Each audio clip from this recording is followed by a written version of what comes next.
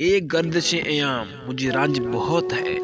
कुछ ख्वाब थे ऐसे जो बिखरने के नहीं थे। आया वतन में फिर के, मगर इसकी क्या खुशी? जिन जिन को पूछता हूँ, ये सुनता हूँ, मर गए। ये जीना भी कोई जीना है, हम प्रदेश वालों का। कि अपने घर में भी जाएँ तो फक्त मेहमान होते हैं। लोग कहते हैं, बहुत खुशकिस्मत हैं। घर से निकल जाना कैसी खुशकिस्मती? गुजरता एक पल भी नहीं, और बीत चार साल गए। जो मांगो दे दिया कर ए ज़िंदगी, कभी तो मेरे बाप जैसी बन के दिखा। खुशी से कौन परदेश जाता है? मेरे महबूब मजबूरियाँ ले जाती हैं।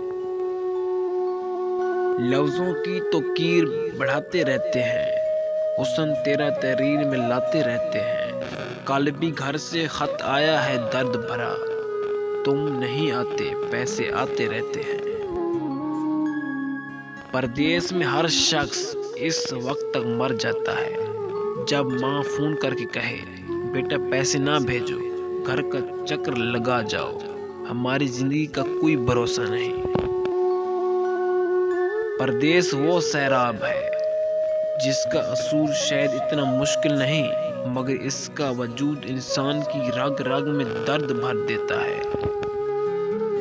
परदेश में वतन की याद जब आती है तो कमाई जहर लगती है।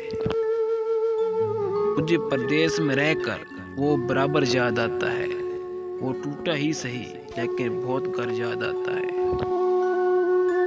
रिज की तलाश में छोड़ दिया शहर अपना, वरना ये छोटी सी उम्र परदेश के काबिल तो ना थी।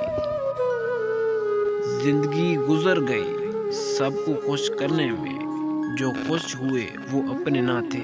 जो अपने थे, वो कभी खुश ना हुए। तुझसे दूर प्रदेश में रहना भी जहन्नम से कम तो नहीं है माँ।